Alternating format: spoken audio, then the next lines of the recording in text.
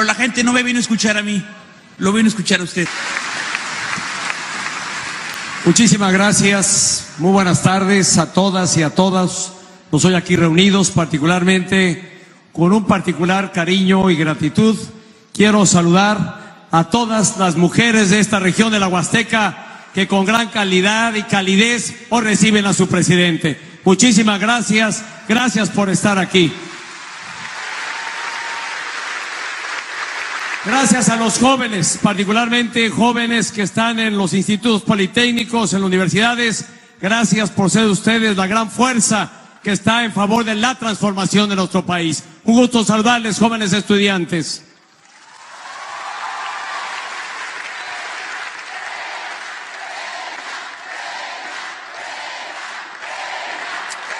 Y a todos los caballeros, a todos los hombres que proveen para sus hogares todos los días, que son hombres de trabajo. Les saludo con respeto, hay muy poquitos, pero les saludo también con igual afecto a todos los hombres hoy aquí reunidos. Quiero saludar a las autoridades aquí reunidas, particularmente al señor gobernador del estado de Hidalgo. Muchas gracias, señor gobernador, por la hospitalidad. Ocasión para decirles que este es el primer evento público que tengo con el señor gobernador del estado de Hidalgo porque es un gobernador recién estrenado. Lleva poco tiempo acá al frente de la gobernatura. Pero ocasión para decirle lo que he tenido ocasión de decirle en lo personal y cuando nos hemos reunido, que tiene en el gobierno de la República su gobierno a un aliado, que estamos dispuestos a sumar esfuerzos, a sumar recursos para apoyar a los hidalguenses. Hoy aquí vuelvo a reiterarle este compromiso del presidente de la República y de mi gobierno. Aquí hay un aliado permanente con el gobierno del estado de Hidalgo y con su gobernador.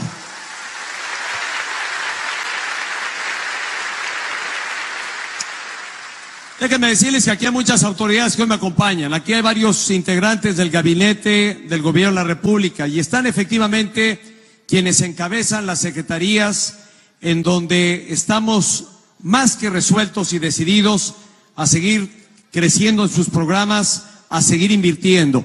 Tiene que ver con el ámbito de la política social.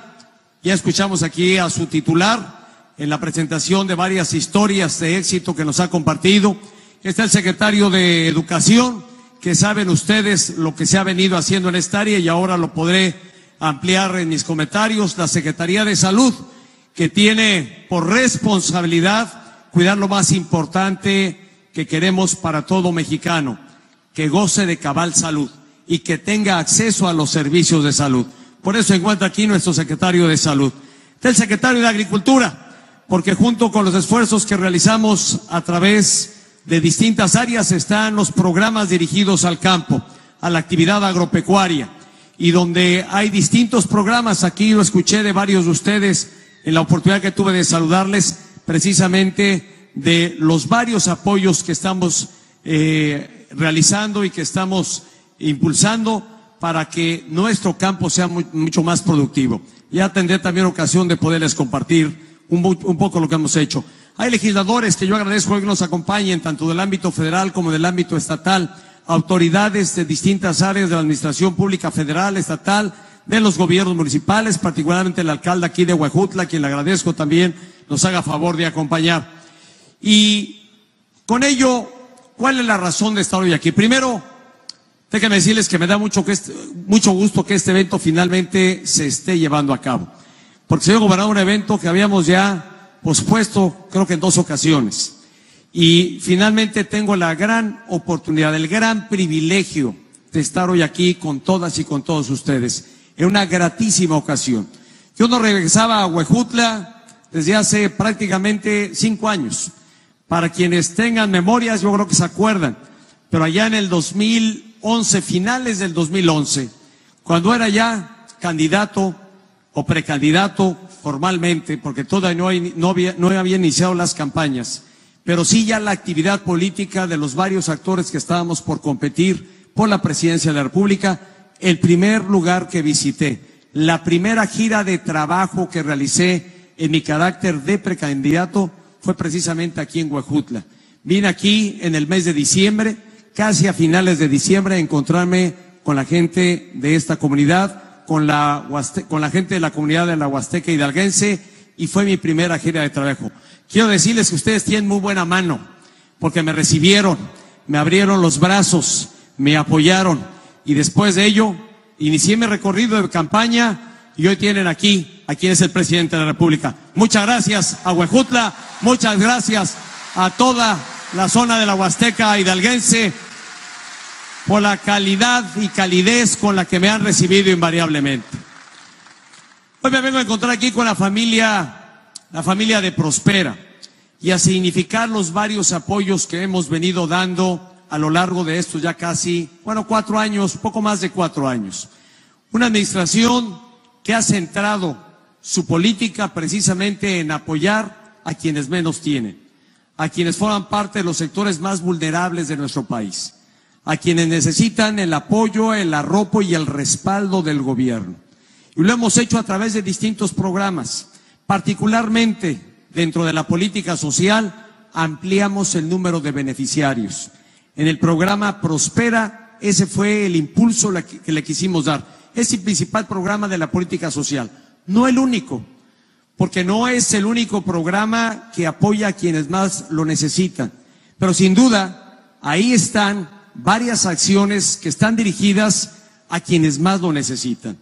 Ahí están los que reciben, como aquí hemos visto en los casos de las familias que aquí nos acompañan, varios que son beneficiarios de los varios programas que están dentro de la política social del gobierno de la República. Tenemos a más de seis millones de familias que reciben un apoyo económico para ampliarles su capacidad de ingreso y para que puedan darles una mayor calidad de vida a sus familias. Por primera vez en esta administración empujamos para que las becas no solo se dedicaran a los niños que estudian la educación básica. Después de la educación básica se mantuvieron becas para aquellos que estudian en el nivel medio superior, es decir, la preparatoria o alguna carrera técnica. Pero a partir de esta administración, eh, aseguramos que todos los beneficiarios de las familias Prospera pudieran tener una beca para que sus hijos estudiaran la universidad. Porque si algo hemos querido hacer es evitar que la política social del gobierno de la República sea solamente una política asistencialista, sea una política que solamente apoye, otorgue apoyos de manera económica o becas, sino más bien enseñarles para que esas familias puedan construirse un mejor futuro a partir precisamente de las varias herramientas de las que les estamos dotando. Y hay una que es importante y central en todo ello, que es la educación. Por eso hoy son más, son seis millones de becas que reciben las familias de Prospera que tienen un hijo que está decidido a ir a la universidad y a mantenerse en la universidad. Mientras así sea, tienen esta beca que hoy están recibiendo y que se suma a 1.7 millones más de becas que otorga la Secretaría de Educación Pública. Pero lo que sí estamos asegurando es que los hijos de las familias de Prospera, que son las familias más necesitadas del país, sus hijos tengan una beca para estudiar la universidad. Esta es la beca Se Prospera que este gobierno ha instruido.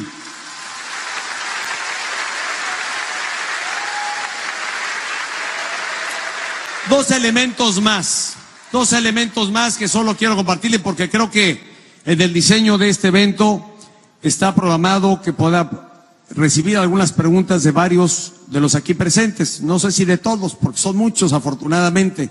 Y me da de verdad enorme gusto saludarles a todas y a todos. Dos elementos más. La pensión para adultos mayores. En este gobierno duplicamos el número de beneficiarios. Porque pasó de que este apoyo solo fuera para las personas de más de 70 años, desde el inicio de esta administración, ampliamos el universo, ampliamos la gente que debiera recibir este apoyo y fue a partir de 65 años o más quienes reciben este apoyo económico. Esto nos llevó a tener el doble de, beneficiarios, de dos millones y medio de beneficiarios que había antes a más de cinco millones de beneficiarios. Esta es la importancia que le damos hoy a nuestros adultos mayores, aquellas personas que buena parte de su vida se han entregado a trabajar, apoyar a sus familias y llegan a una etapa de la vida en que muchos de ellos no tienen otra, no tienen otra manera de qué vivir. Por eso ampliamos este programa. Tenemos el tema de los comedores comunitarios, que por primera vez se tienen en el país, para asegurar no solo alimentación, y a partir de haber reconocido que había más de 7 millones de mexicanos que pasaban por hambre, 7 millones de mexicanos que no tenían asegurada su diaria alimentación, así como lo oyen. Y este gobierno fue el primero en reconocer que era parte de la realidad de nuestro país. Y para precisamente poder revertir esta condición, fue que impulsamos la creación o empujamos una cruzada alimentaria, una cruzada nacional contra el hambre. Y uno de los programas centrales de esta cruzada, además de varios apoyos para llevar servicios básicos de salud, de educación a comunidades que no lo tenían, un, tema central son los comedores comunitarios. Diariamente en estos comedores, en estos más de 5.200 comedores que hay en, toda, en distintas partes de la geografía nacional, diariamente se sirven un millón de raciones alimentarias. Un millón. Pongan ustedes a pensar, un millón de personas, menos número de personas, pero un millón de raciones alimenticias se sirven todos los días. Y esto asegura dos cosas. Primero, que aquellos que no podían tener asegurada su alimentación hoy la puedan tener. Y segundo, que tengan una buena alimentación. Que no solo coman cualquier cosa, sino que tengan una buena alimentación. Y en ello, y en ello quiero yo pedirles que reconozcamos a las más de 60 mil voluntarias, en su gran mayoría mujeres, que sin ninguna contraprestación, sin ningún apoyo adicional, están decididas a apoyar el desarrollo de sus comunidades y trabajan de manera voluntaria en estos comedores comunitarios. Se capacitan precisamente para poder asegurar la alimentación de millones o de miles de personas que asisten a estos a estos comedores comunitarios. Muchísimas gracias a todas las voluntarias por esa incansable labor que realizan de apoyo a quienes más lo necesitan.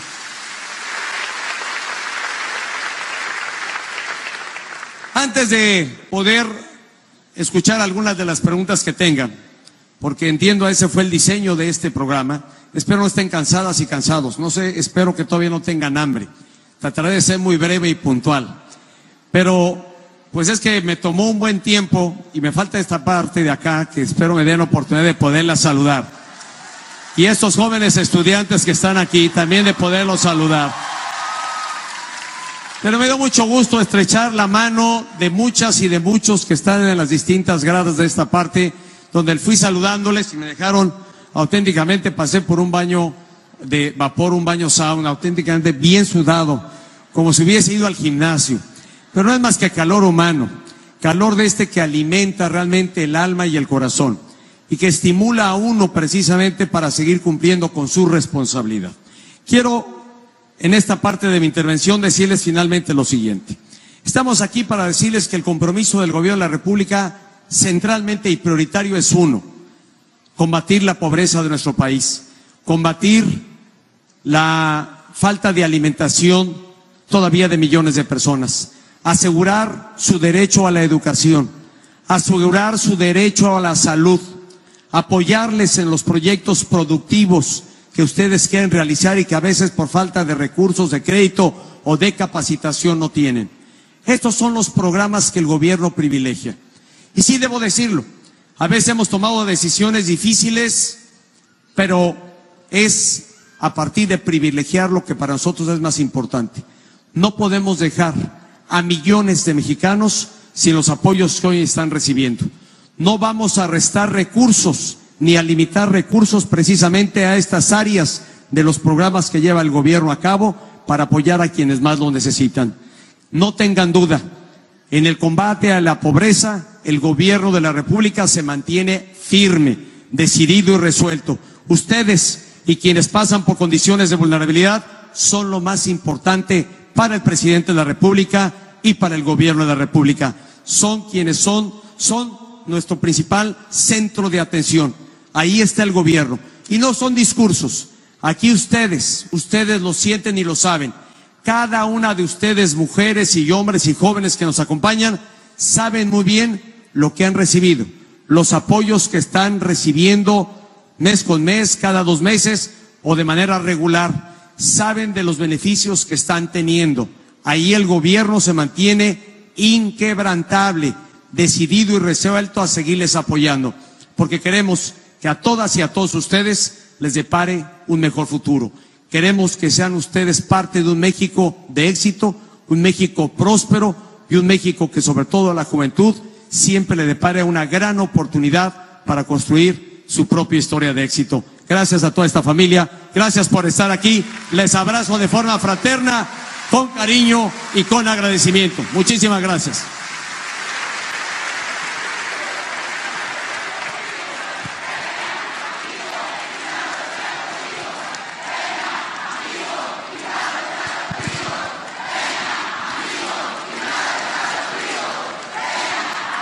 Bien, a ver, que vamos a hacerle, vamos a dividir esto en tres preguntas al señor presidente. ¿Les parece? Mujeres, jóvenes, ¿quién más? A ver, ¿quién es el primero que quiere preguntarle al señor presidente? Adelante, ven para acá. Vente para acá.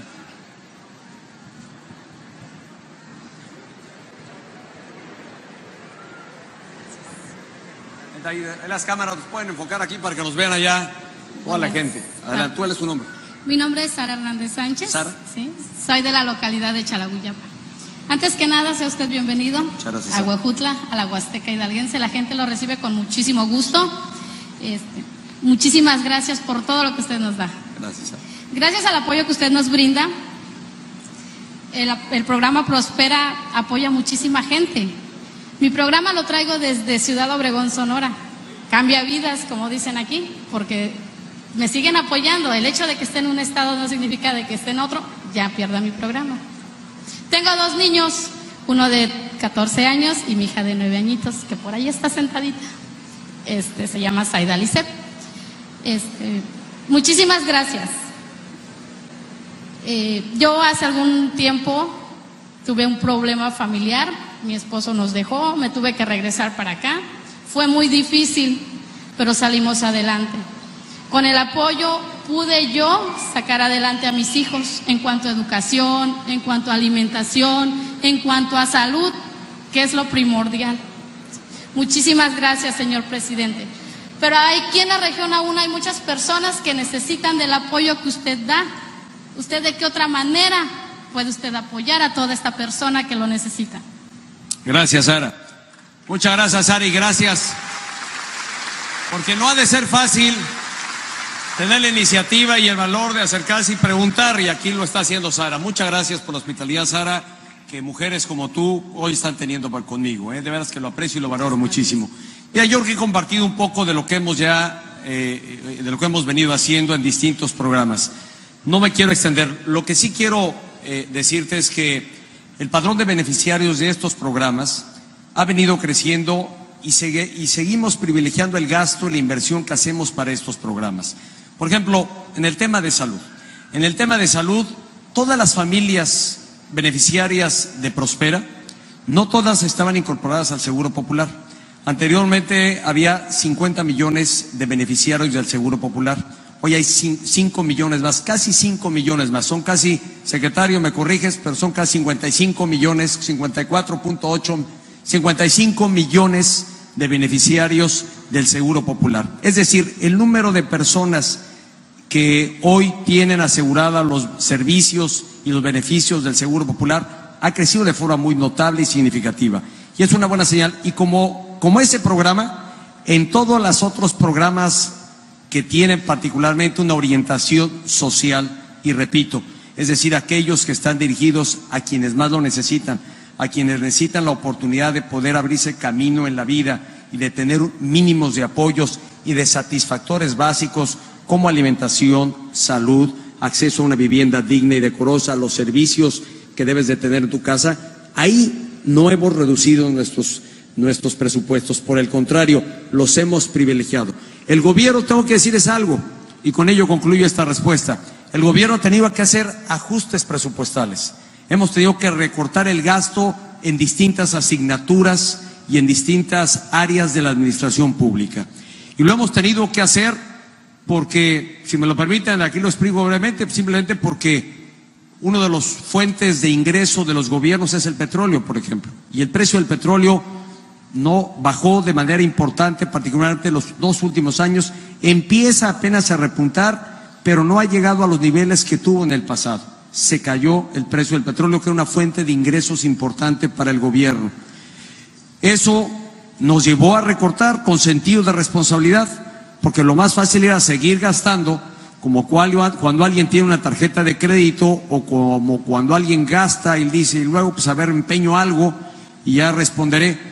Aquí con sentido de responsabilidad decidimos recortar el gasto del gobierno, pero no así para la política social.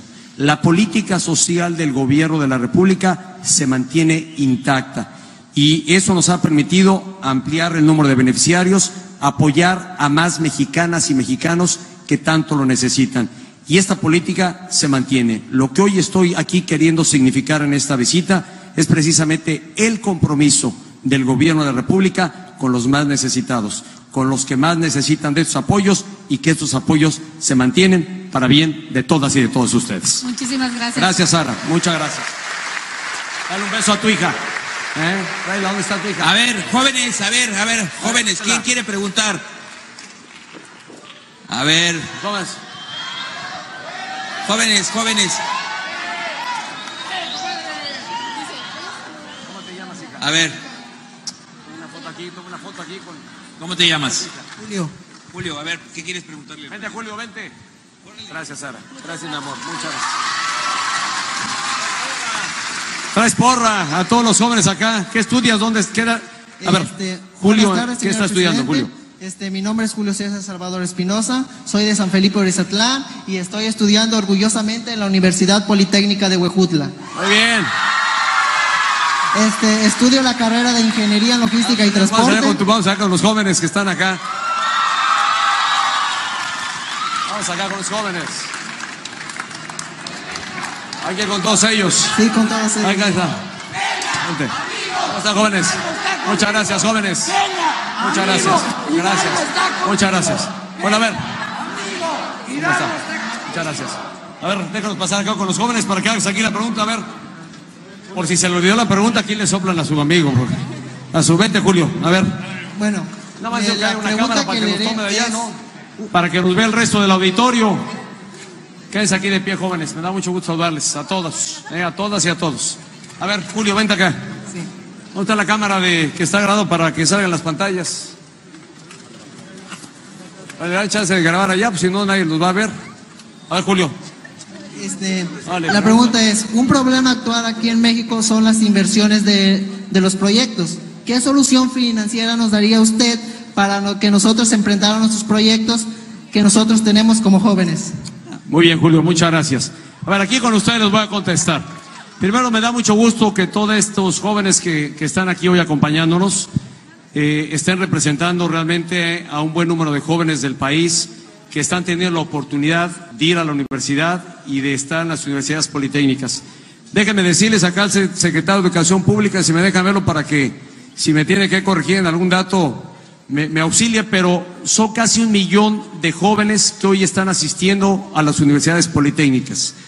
Eh, y donde realmente están recibiendo una educación que los prepare precisamente para hacer su propio proyecto de vida, sea trabajando en algún lugar o, como Julio me pregunta, en tener la oportunidad de desarrollar su propio proyecto.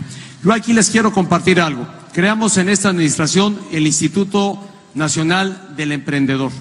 Y este instituto otorga capacitación y acceso al financiamiento precisamente para aquellos jóvenes que quieren desarrollar su propio proyecto. En el INADEM, ahí está eh, esta posibilidad de acercarse. Hay créditos, hay apoyos. El número de personas que se ha beneficiado realmente es relevante y sobre todo son la gran mayoría jóvenes.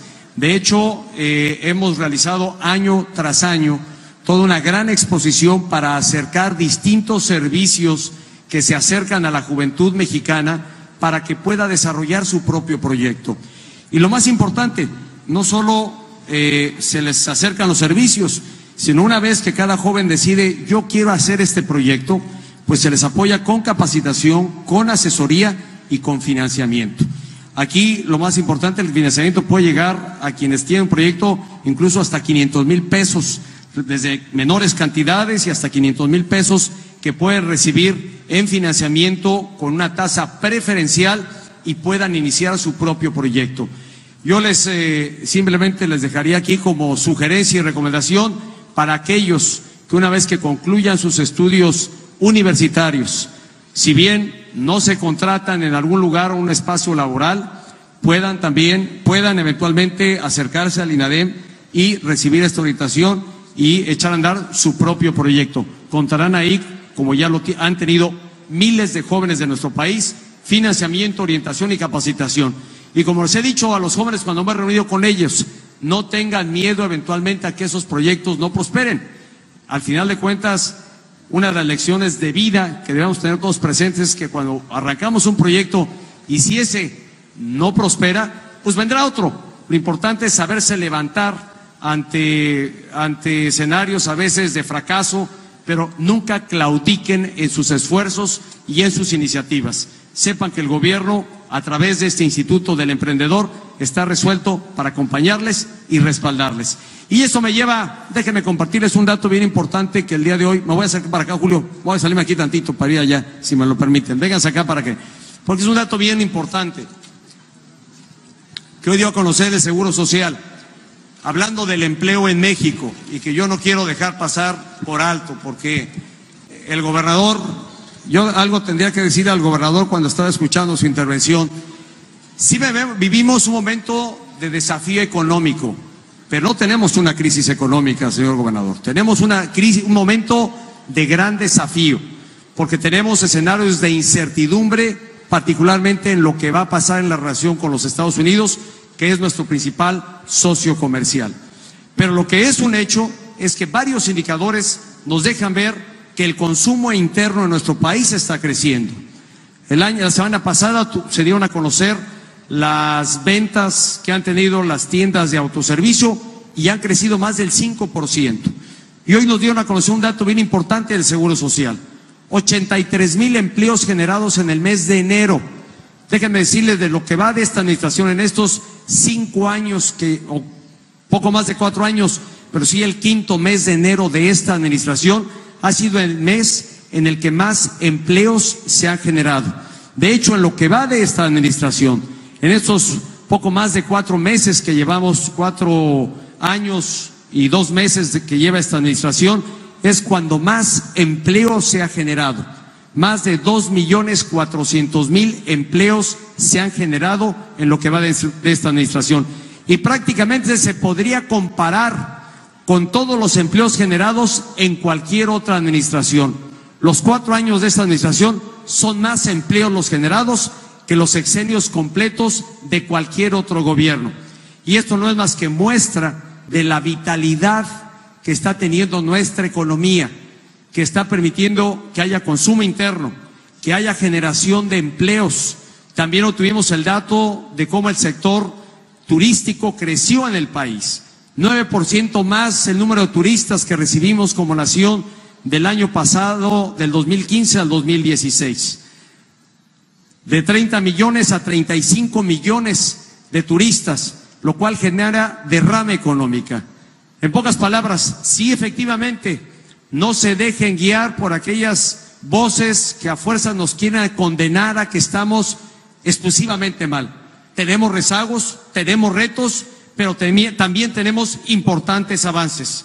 Hoy el empleo está creciendo, estamos generando más empleo y así seguiremos trabajando para que ustedes jóvenes que están estudiando tengan más oportunidades. En nombre de los jóvenes le queremos dar las gracias por ser la primera generación que tenemos la beca Inicia tu carrera, se prospera. Gracias, gracias. Julio. Muchas gracias y gracias a todos. Muchas gracias. Gracias, bueno, pues la última pregunta. A ver, ¿quién? A ver, ¿quién? A ver, mujer, mujer, le toca a ti. A ver. Ven para acá. te preocupes, que se vea que hay calor. Es joven, es estudiante y espero que sea muy estudiosa.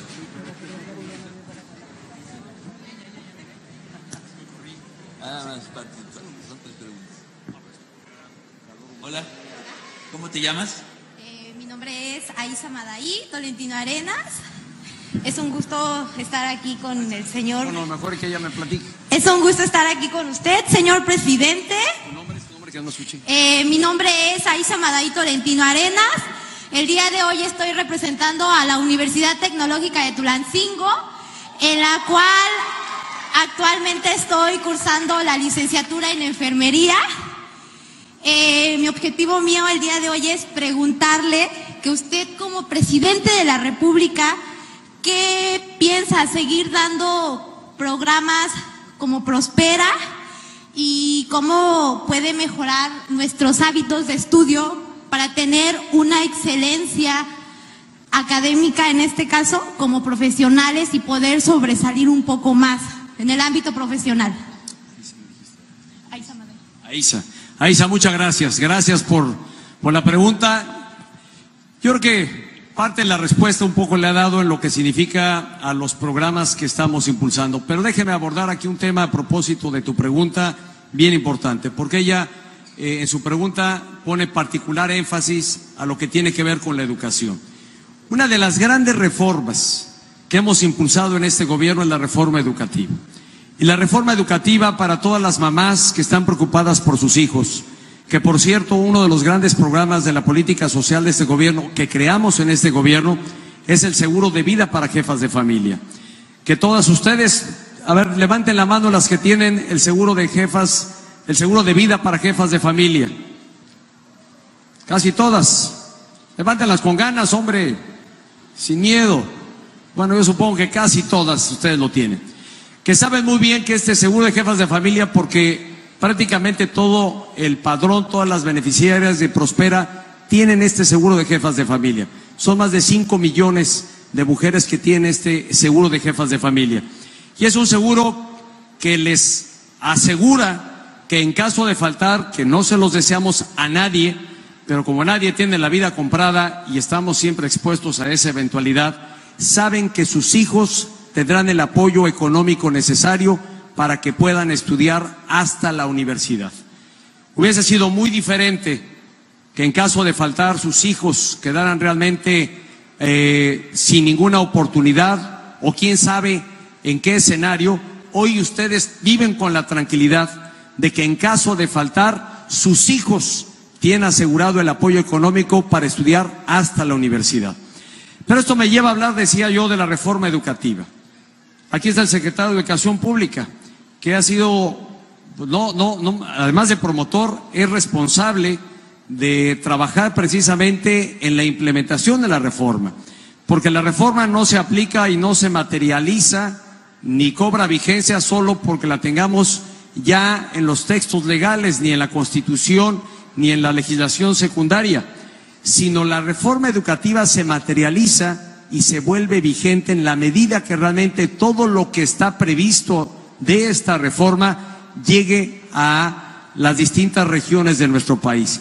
¿Cuáles son los tres elementos centrales de la reforma educativa? ¿Qué es lo que quiero compartir y que les va a dar a ustedes, a los jóvenes estudiantes, una mejor oportunidad de prepararse y de estar debidamente preparados?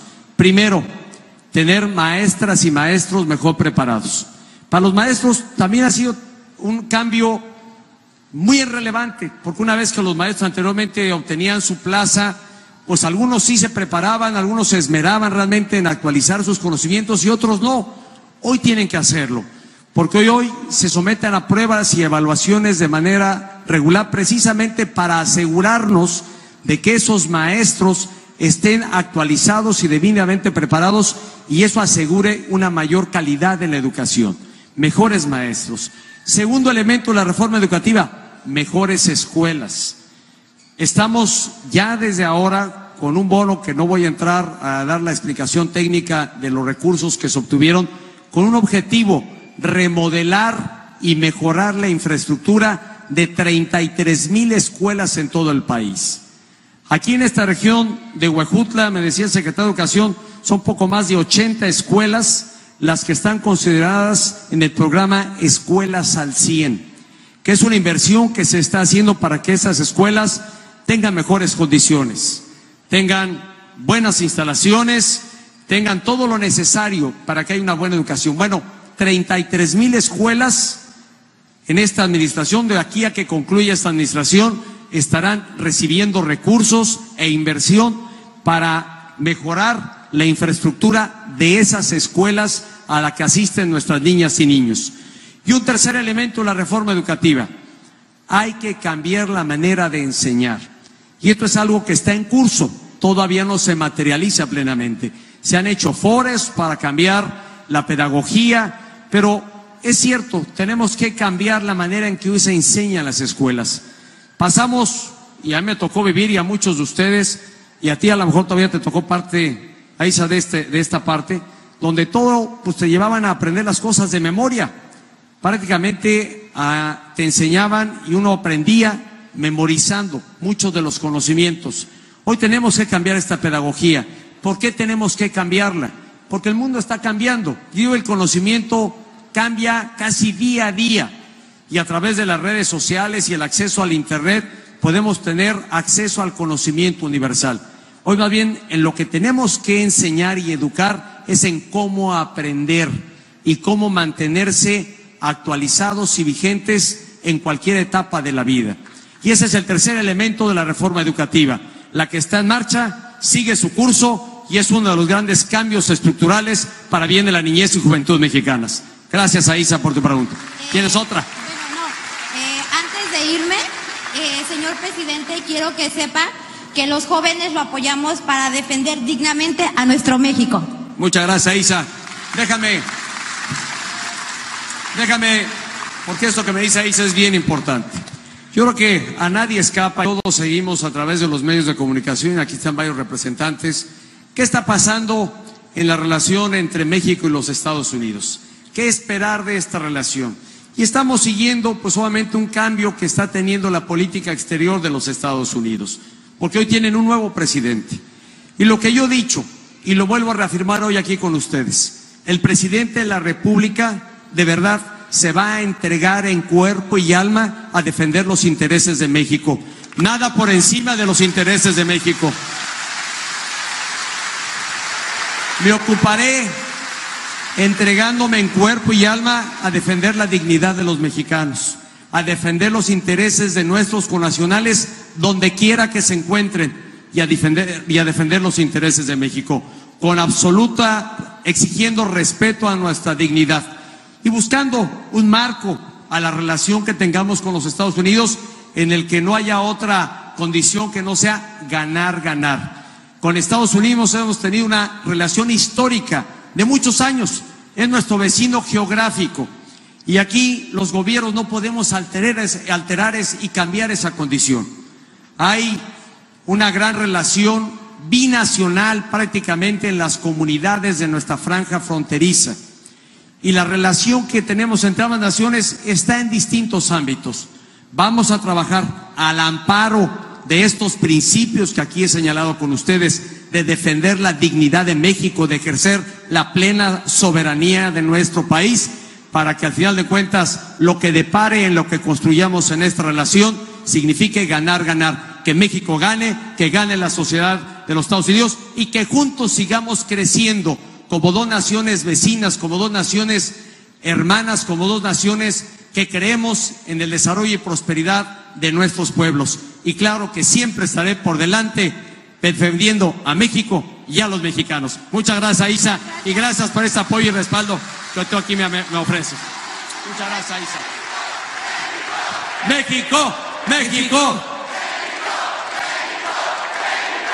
México, México. Bueno, señor presidente, tiene que saludar toda esa fila. Vamos a darle un aplauso al señor presidente. Gracias por este evento. Muchas gracias. De esta manera concluye este evento. Se despide de ustedes el presidente de los Estados Unidos mexicanos, el licenciado Enrique Peña Nieto. Que tengan todos muy buenas tardes. Muchas gracias. Muchas gracias a Huejutla. Muchas gracias a todas las mujeres. Ahora voy por allá, ¿eh? porque las quiero saludar si me lo permiten. Voy para allá. A estos jóvenes, gracias, gracias por su hospitalidad, gracias por estar aquí. Aquí les dejo un pedacito de mi corazón, porque ustedes así me lo han entregado.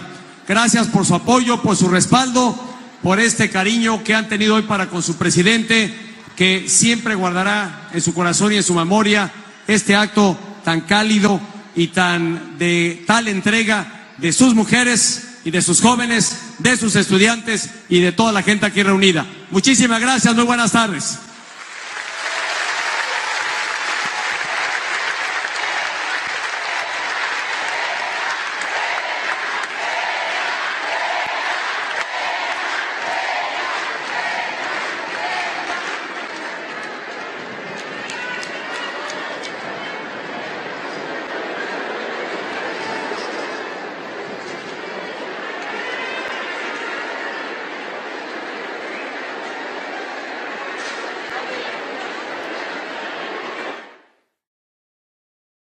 Primero, déjenme decirles que me da mucho, este, mucho gusto que este evento finalmente se esté llevando a cabo. Porque se dio gobernado un evento que habíamos ya pospuesto, creo que en dos ocasiones. Y finalmente tengo la gran oportunidad, el gran privilegio de estar hoy aquí con todas y con todos ustedes, en una gratísima ocasión. Yo no regresaba a Huejutla desde hace prácticamente cinco años. Para quienes tengan memorias, yo creo que se acuerdan pero allá en el 2011, finales del 2011, cuando era ya candidato o precandidato formalmente, porque todavía no, había, no había iniciado las campañas, pero sí ya la actividad política de los varios actores que estábamos por competir por la presidencia de la República, el primer lugar que visité, la primera gira de trabajo que realicé en mi carácter de precandidato fue precisamente aquí en Huejutla. Vine aquí en el mes de diciembre. Aquí hay un aliado permanente con el gobierno del estado de Hidalgo y con su gobernador.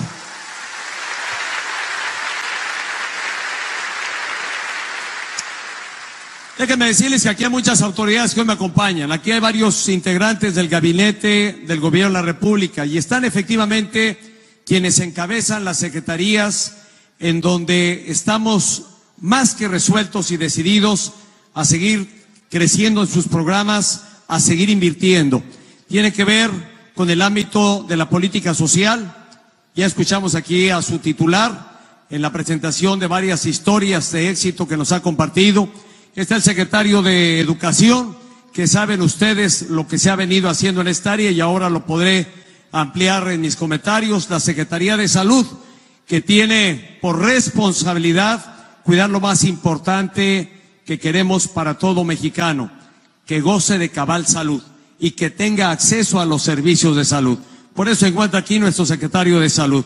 el secretario de Agricultura, porque junto con los esfuerzos que realizamos a través de distintas áreas están los programas dirigidos al campo, a la actividad agropecuaria, y donde hay distintos programas, aquí lo escuché de varios de ustedes en la oportunidad que tuve de saludarles, precisamente de los varios apoyos que estamos eh, realizando y que estamos impulsando para que nuestro campo sea mucho más productivo. Ya tendré también ocasión de poderles compartir un, poco lo que hemos hecho.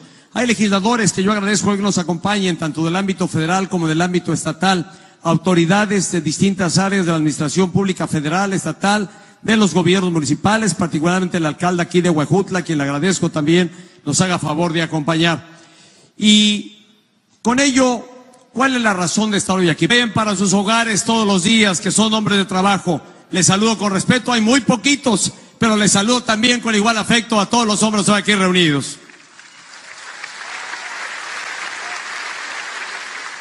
Quiero saludar a las autoridades aquí reunidas, particularmente al señor gobernador del estado de Hidalgo. Muchas gracias, señor gobernador, por la hospitalidad.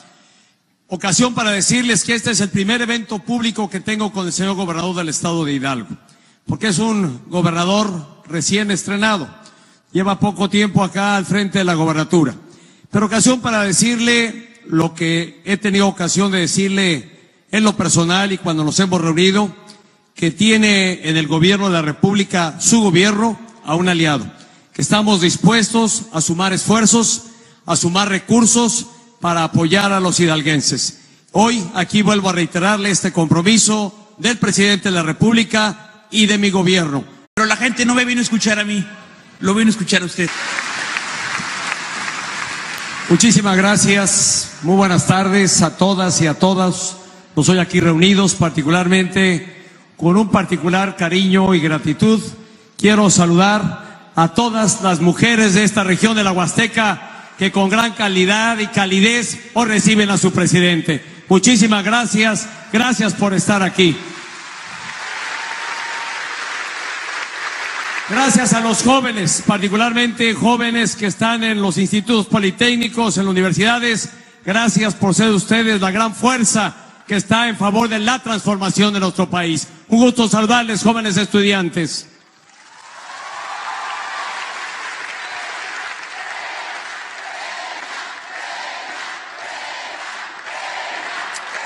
Y a todos los caballeros, a todos los hombres que proveen